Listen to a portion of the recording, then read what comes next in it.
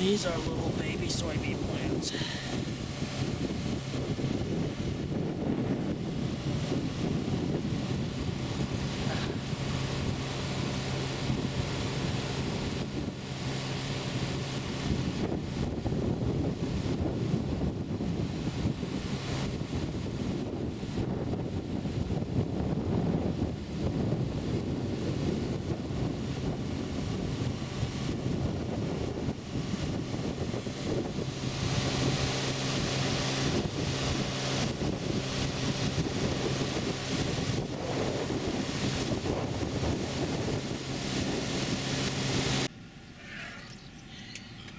more of Lewis Lammers.